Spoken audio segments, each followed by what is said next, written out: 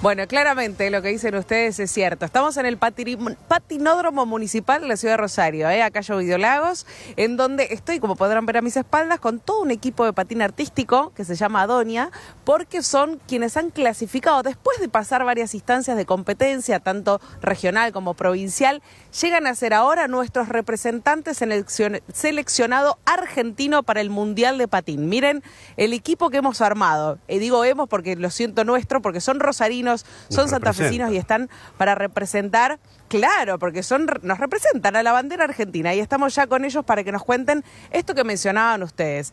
Le ponen mucho esfuerzo, voluntad, pero todo a pulmón, porque la verdad es que necesitan poder juntar los fondos para ir al Mundial que se hace en octubre. Bueno, ya le contanos un poco, decíamos, todo un equipo que fueron pasando varias instancias que merecen llegar hasta el Mundial, pero bueno, es costoso, eh, hay que juntar el pesito por pesito. Contanos un poco cómo viene este trabajo que vienen realizando durante todo el año. Bien, eh, bueno, primero buenas noches a todos los que estén mirando o escuchando. Sí, nosotros en realidad esta es una parte de lo que es Adonia, el grupo se llama Adonia, eh, y bueno, acá está lo que es categoría small, pero también estamos en lo que es categoría show. En total somos 25 patinadores, patinadoras y patinadores que venimos entrenando desde el mes noviembre, diciembre, que fue cuando se armó el grupo, y desde ahí hasta el día de hoy eh, fue todo el proceso con el, un objetivo en común, que fue el que logramos en Villa María, que fue clasificar para el Campeonato del Mundo eh, Argentina 2022, porque va a ser en nuestro país.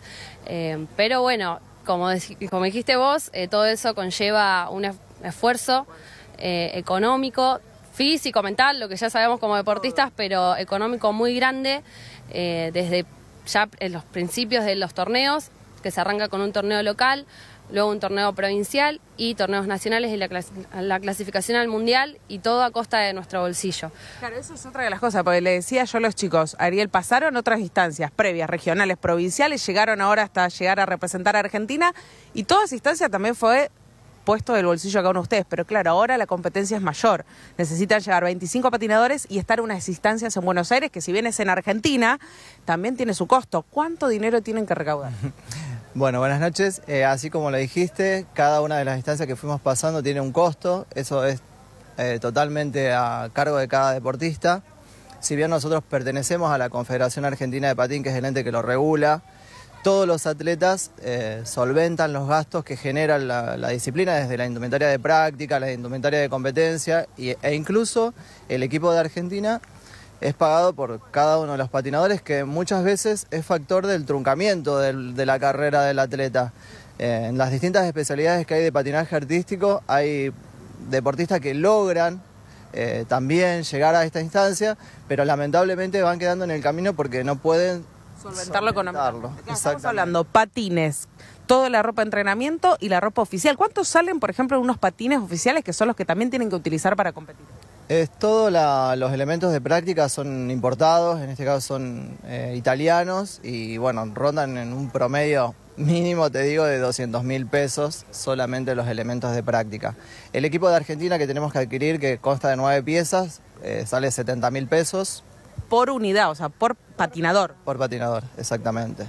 Eh, la inscripción, por ejemplo, para hacer la eliminatoria al Mundial eh, estaba puesto en dólares, nosotros tuvimos que pagar 150 dólares cada uno y también los tiempos son acotados porque eh, es de un día para otro. la semana, por ejemplo, nos dijeron, bueno, el viernes hay que pagar los gastos que genera la, el Campeonato del Mundo, que es solventado prácticamente por los mismos deportistas. Entonces, qué pasa con los Sí, Martín, eh, iba a preguntar qué pasa con el apoyo local, ¿no? O sea, digo, porque están representando, primero representaron todo lo regional, pues estamos hablando de son patinadoras que de manera voluntaria, con el placer y, el, y la dedicación que le ponen, después pasan al provincial, pero todo eso hoy lleva la camiseta argentina y no hay apoyo de ningún sector. No, eh, la realidad es que todo lo hacemos nosotros, incluso hacemos eventos, ventas de lo que te imagines, pizza, empanada, pastelitos, eh, churros, eventos, te bingo. Y bueno, ahora estamos encontrándonos con esta situación que es eh, abonar el costo del mundial eh, que se nos aproxima ya, porque ya tenemos que poner el dinero, los tiempos son muy acotados y eh, tenemos que abonar 200 mil pesos por patinador, más la inscripción de 150 dólares. Sí. Martín, te escucho, me quedé un poco sorprendida con los valores, te digo. Sí, es increíble los, costos que tienen que, afrontar. La situación es la siguiente. Eh, ¿Cómo se les puede ayudar? ¿De qué forma? Aquella persona que quiera colaborar, porque tienen un beneficio, juegan de local, pero también necesitan traslado, este, eh, trasladarse no solo, estar esos Hospedaje. días. ¿Cómo se colabora? ¿De qué manera se puede hacer? Claro, bueno, esta vez no hicieron, por lo menos me contaron que a veces pasadas hicieron pizza, que las vendieron muy bien, otras veces han hecho otras cosas para vender, pero en esta oportunidad, ¿de qué manera se puede colaborar con el seleccionado argentino que nos van a representar? Que es importante también motivar, porque esto es una disciplina, un deporte que también hace que entendamos la importancia que tiene esta disciplina en la ciudad. Eh, ¿Qué han decidido en esta oportunidad? Además de todo lo que estamos haciendo, eh, bueno, vamos a estar compartiendo el CBU de nuestro delegado, que, es quien lleva adelante todos los, papeles y bueno, todo lo que es, claro, la parte administrativa del grupo y bueno, vamos a, estar compartiendo su CBU para todo aquel que quiera, porque realmente esto es pueda. con lo que pueda, o sea, todo granito de arena suma, nosotros tenemos que juntar 5 millones de pesos para antes de ayer. Eh, entonces, contarle a la gente de que ustedes clasificaron hace poquito, o sea, el 6 de agosto, porque hasta, esa, hasta esa instancia estuvieron trabajando y compitiendo y recién ahora dijeron, chicos, son ustedes el seleccionado que nos va a representar. Exactamente, nosotros fuimos pasando distintas instancias, eh, Argentina por cada especialidad tiene una, un cupo de tres, eh, de tres plazas, así que bueno, había que ganarse esa plaza. Tienen dos ya. Sí, los dos equipos que conforman el, el equipo Adoña, los dos fueron clasificados al Campeonato del Mundo. Son los mejores, digamos, decilo. Sí, bueno, ya está. Son los mejores. ya que vos lo decís. A ver, hay que apoyar. Nosotros decimos, es sí, sí, te escucho, Fla. Más que nada, quería que le preguntes, sabiendo todo este panorama, sí, porque desde el desconocimiento lo pregunto, si hay alguna asociación, agrupación que representa su actividad como patinadores, que puedan ser intermediarios, y la siguiente pregunta es, intermediarios de una gestión oficial, con instancias municipales, provinciales, inclusive nacionales, para de alguna forma regularizar y realmente hacer efectivo un pedido de apoyo, porque el patinaje artístico no es la única actividad que es profesional y que también compite a estas instancias que no tiene el apoyo. Ya sabemos que el fútbol se lleva todo, Detrás vendrá el automovilismo, otras actividades como el básquet, pero hay tantísimos otros deportes que quedan de lado y que quedan en estas situaciones. Sí, sí, es cierto. Bueno, lo que dice Flavia es lo que hablábamos fuera de cámara, ¿no? Esta cuestión de que son deportes que no tienen el apoyo de ninguna confederación, ninguna asociación. Ustedes decían, estaban dentro de la confederación de patín. Claro, está regulado. Está regulado, pero no tienen banca económica. claro, no tiene perfil profesional, es un deporte amateur. Entonces, eh, los clubes a los que nosotros pertenecemos, o los municipios, no tienen la solvencia para poder costear un deporte que si bien es amateur, tiene todo el perfil de un deporte profesional, porque genera muchos gastos, es una movida súper importante. Eh, este campeonato mundial es de todo lo que es deporte de ruedas, y dentro de ruedas está el patín artístico. O sea, nosotros estamos dentro de ese, por eso eh, Silvina Bordiñón, que es la entrenadora, hace una aclaración, nosotros nos toca en Buenos Aires, porque está dividido en dos sedes, que una es en San Juan, una parte del, campeonato se va a realizar allá, y la otra parte, todo lo que es artístico, eh, tiene como sede en Buenos Aires Capital. ¿Y no se ha acercado nadie de Nación, del área de deportes, la Secretaría de Deportes de Santa Fe tampoco? Pregunto, ¿no? Porque, no, En realidad, eh, vamos a hacer una, salvedad. Eh, sí, hay, hay un acompañamiento, obviamente, por supuesto, pero la cantidad de atletas que hay dentro de lo que es eh, los deportes amateur no alcanza a acompañar a todos. Entonces, obviamente, el acompañamiento que puede ser con este tipo de costo, que es todo un, valor a precio internacional, que a nosotros no nos beneficia, eh, se hace inalcanzable para nosotros y, eso... Sí, a todas las otras disciplinas que son amateurs. A todas las otras disciplinas y obviamente tanto la confederación o el municipio o con quien quiera acompañar, cuando se encuentra con estos números tan elevados, es difícil poder apoyar. Esto no es fútbol, entonces no tiene tampoco para muchas eh, entidades o quizá para firmas importantes el atractivo que tiene otro deporte que a lo mejor puede ser mucho más redituable.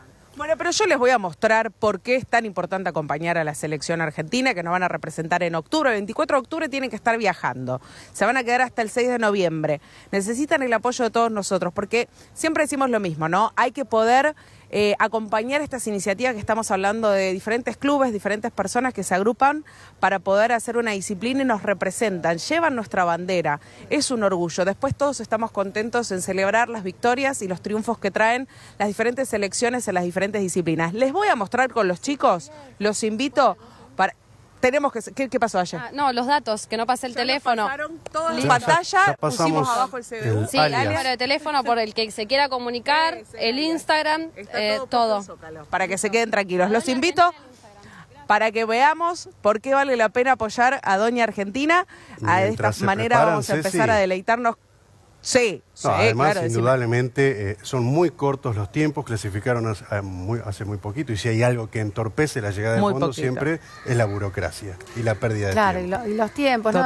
mientras ustedes conversaban estaba saliendo el alias de la cuenta bancaria para que quienes puedan colaborar y yo insisto con esto, eh, obviamente que lo importante sería formalizar y sistematizar un procedimiento eh, que sea oficial, en el cual las instituciones que participan y que llegan a estas instancias tan importantes, coincido en lo que decía Ceci, después la foto con la bandera argentina nos encanta a todos, cuando se, logra la medalla, el título, la copa, lo que fuere.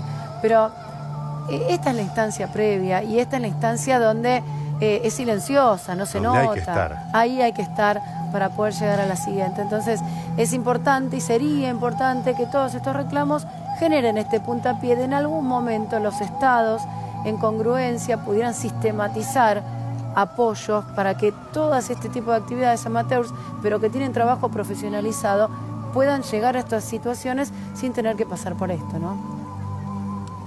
Sí, aparte, cerrando con esta imagen que es maravillosa de la coreografía que han armado para poder presentarse en Buenos Aires en este Mundial de Patín Artístico, es señalar esto que decían ustedes.